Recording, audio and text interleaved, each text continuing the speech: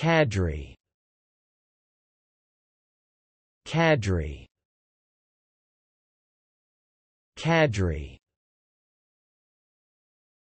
Noun Definition, a small group of people specially trained for a particular purpose or profession.